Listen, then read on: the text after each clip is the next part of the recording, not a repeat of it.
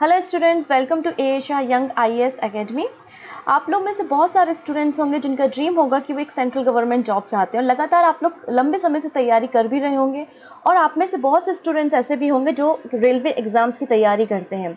और I hope आप लोग ने रेलवे आरआरबी एनटीपीसी एग्ज़ाम भी दिया होगा, जिसका C B T one result already आ चुका है और ऐसा बोला जा रहा है कि मई में सी बी टी एग्ज़ाम होने वाले हैं। इसलिए Asia young I S academy आप लोगों के लेकर आ रहा है रेलवे क्रेस कोर्स।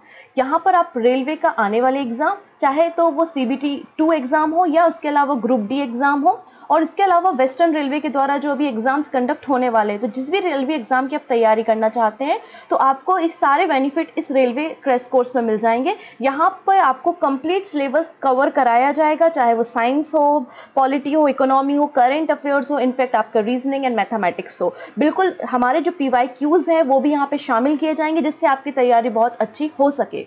तो बिल्कुल अगर आप इस कोर्स को लेना चाहते हैं तो इस वीडियो को लास्ट तक देखिएगा, और जो भी डाउट हो, वो आप हमको कमेंट सेक्शन में बता बता सकते हैं। क्लियर तो आइए हम बात करते हैं रेलवे क्रेस कोर्स के बारे में। Give a final touch to your railway exam with Asia young I S academy okay तो चलो स्टार्ट करते हैं। आई एम पूजा और आज मैं डिस्कस कर रही हूँ आपको आरआरबी एनटीपीसी के क्रश कोर्स के बारे में। जैसे कि मैंने बताया रेलवे रिक्रूटमेंट बोर्ड मतलब आरआरबी के द्वारा यहाँ पर ग्रुप डी का एग्ज़ाम और इसके अलावा level two level three four five six मतलब यहाँ पे ग्रेजुएट लेवल के एग्ज़ाम्स को कंडक्ट कराया गया, जो कि हम बोल रहे हैं C B T one exam common eligibility test जो होता है वन एग्ज़ाम कंडक्ट हुआ है। ठीक है? जो लोग क्वालिफाई हुए हैं, आप लोगों ने रिज़ल्ट ऑब्वियसली देख लिया होगा अपने अपने जोन से। अब यहाँ पे C B T C B T two exam conduct किया जा रहा है, जो कि मई में कंडक्ट कराया जाएगा और नंबर ऑफ़ वैकेंसी कितनी है? थर्टी फाइव थाउज़ेंड लगभग यहाँ पर वैकेंसी हैं आपके पास। इसके अलावा ग्रुप डी एग्ज़ाम जो है वो ट्वेल्थ बेस है, जो कि फ़र्स्ट फ़ेज़ में होगा मतलब सी बी टी वन अकेला होगा ग्रुप डी एग्ज़ाम का। बाकी जो होंगे, वो C B T two exam भी होगा। क्लियर इसके अलावा आप लोगों ने देखा होगा कि अभी टेंथ बेस पे अप्रेंटिस भी आया है वेस्टर्न रेलवे का भी वैकेंसी आउट होने वाला है। तो इस तरीके से काफ़ी कुछ वैकेंसी है। आइए हम बात करेंगे C B T two exam के बारे में तो यहाँ पर अगर आप एग्ज़ाम के पैटर्न को फोकस करेंगे, हालाँकि जितने भी रेलवे एग्ज़ाम होते हैं, यही पैटर्न होता है। चाहे सी बी टी वन हो ग्रुप डी हो सी बी टी टू हो इंग्लिश आता नहीं है तो बिल्कुल यहाँ भी इंग्लिश आएगा नहीं। C B T two exam में आपको फिफ्टी नंबर जो कि बहुत स्कोरिंग है आपके लिए, जो जी एस में कमांड कर लेगा जी ए में कमांड कर लेगा, उसका आर आर बी में सिलेक्शन पक्का है। और उसकी तैयारी कराने के लिए आप जुड़ सकते हैं Asia young I A S के साथ। तो यहाँ पर जनरल अवेयरनेस का आपको 50 क्वेश्चंस होंगे मैथमेटिक्स के 35 क्वेश्चंस होंगे और जनरल इंटेलिजेंस मतलब रीजनिंग के आपको जो क्वेश्चंस मिलेंगे वो 35 क्वेश्चन मिलेंगे। टोटल 120 क्वेश्चंस होंगे 120 मार्क्स के होंगे और one hour thirty minute duration होगा। साथ ही साथ यहाँ पे वन थर्ड नेगेटिव मार्किंग भी दी है। अगर कोई क्वेश्चन गलत होता है तो उसमें वन थर्ड नेगेटिव मार्किंग होगी। ये आपका सिलेबस रहेगा C B T two exam के लिए। अगर आप ग्रुप डी का पेपर दे रहे हैं तो भी बस यहाँ पे नंबरिंग का डिफरेंस डिस्ट्रीब्यूशन है जो थोड़ा अलग हो जाएगा, लेकिन सिलेबस यही रहेगा और थोड़ा सा लेवल डाउन हो जाएगा। इसके अलावा कोई अंतर रेलवे एग्ज़ाम में नहीं पड़ता है। तो आइए हम बात करते हैं कि क्या है मैथ्स का रीजनिंग का और जीए का सिलेबस तो यहाँ पे मैथ्स के अगर सिलेबस की बात करते हैं तो वही बातें होंगी मैथ्स में जो एसएससी में भी होती हैं, ग्रुप डी में भी होती है, जितने भी वनडे एग्ज़ाम होते हैं मैथमेटिक्स के ऑलमोस्ट यही टॉपिक आपको देखने को मिलते हैं एल एस टी एफ़ इसके अलावा सिंप्लीफिकेशन नंबर सिस्टम कोई सीरीज़ दी जाएगी और फाइंड करना पड़ेगा।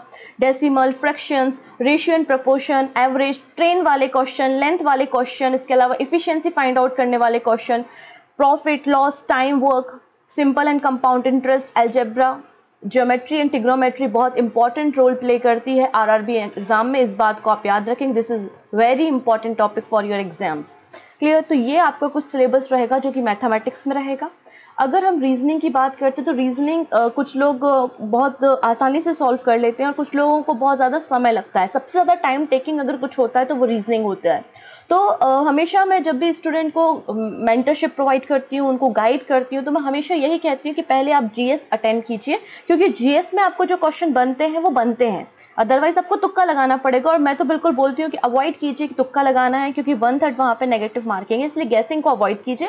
और जीएस में अगर पता है कि भारत छोड़ो रिवॉल्ट कब शुरू हुआ था या फिर हमारा असहयोग आंदोलन कब शुरू किया गया था या फिर दिल्ली दरबार कब हुआ था, हमें जो क्वेश्चन पता है पता है। हमें अगर पता है कि अनटचेबिलिटी किस कॉन्स्टिट्यूशन के, किस आर्टिकल में हमें पता है तो पता तो जीएस के क्वेश्चन जो है, वो सबसे कम टाइम टेकिंग होते हैं। वही रीजनिंग सबसे ज़्यादा समय लेता है, इसलिए मैं स्टूडेंट्स को हमेशा बोलती हूँ कि रीजनिंग के क्वेश्चन सबसे लास्ट में अटैम्प्ट किया, कीजिए। अब रीजनिंग थर्टी फाइव मार्क्स की होगी, ठीक है? थर्टी फाइव क्वेश्चन होंगे जिसमें डायरेक्शन कोडिंग डिकोडिंग इसके अलावा आप जम्बलिंग देखेंगे वेन डाइग्राम पजल है ना? डाटा सफिशिएंसी इस तरीके से आपको ये सारे रीजनिंग के टॉपिक कवर कराए जाएँगे।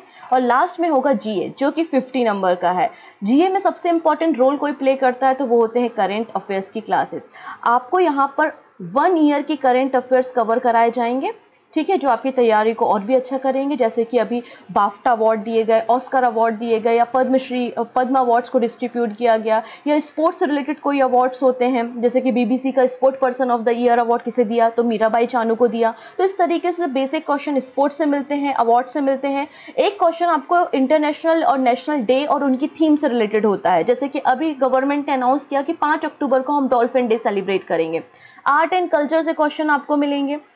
इसके अलावा आपको फोकस करना होता है एन e पे, जो कि सिक्स क्लास से टेंथ क्लास तक की होती है तो वो सारा सिलेबस यहाँ पे कवर कराया जाएगा साइंस पॉलिटी हिस्ट्री जोग्राफी और इकोनॉमिक जोग्राफी में आपको इंडियन जोग्राफी और वर्ल्ड जोग्राफी दोनों ही बातें यहाँ पे कवर कराई जाएँगी. इंपॉर्टेंट जो भी इंटरनेशनल ऑर्गेनाइजेशन है, वो भी यहाँ पर आपको कवर कराए जाएँगे. जितनी भी गवर्नमेंट बॉडीज़ और उनके हेडक्वार्टर्स हैं, वो भी स्टैटिक पोर्शन में आपको कवर कराया जाएगा. भारत में सबसे फ़र्स्ट प्राइम मिनिस्टर कौन थे? पहले कैग कौन थे? पहले इलेक्शन कमीशन कौन थे? तो इस तरीके से स्टैटिक क्वेश्चंस भी बनते हैं वो भी आपको यहाँ पे कंप्लीट कराया जाएगा। तो ये पूरा सिलेबस आपको आरआरबी एनटीपीसी का प्रोवाइड कराया जाएगा और ज़्यादा इन्फॉर्मेशन के लिए नंबर्स आपको स्क्रीन पे दिखाई दे रहे हैं। इन नंबर पे आप कॉल कर सकते हैं।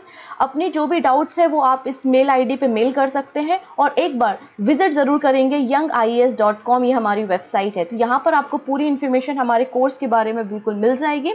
ठीक है जो भी डाउट हो आप बिल्कुल हमसे पूछ सकते हैं। सो so, हमारे इस तैयारी को हमारे साथ जुड़ जाइए। ए शाह यंग आई के साथ. Thank you